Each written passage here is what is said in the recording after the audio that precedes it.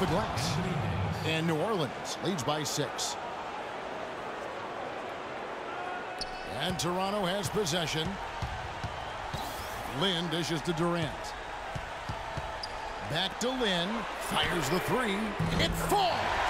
What a beautiful shot to bring him to within three. Defenders need to recognize and be alert to staying on him as we get into crunch time. And Holiday, here we go. Evans passes to Holiday. Trying to find Asik. Gets it to him.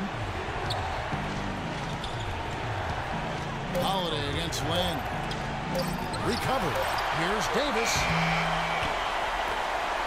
Well, they're really making a point of keeping the ball moving around. Yeah, Steve and Kevin, you guys got to love this teamwork. I mean, everybody's involved and engaged. It's just a thing of beauty to us. Yeah, sure is. When all five guys spark are threats to score, it makes it so tough on the defense. Because now you, you, you can't account for everybody when the ball's moving so quickly.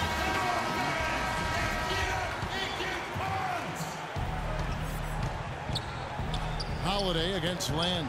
Evans kicks to Holiday.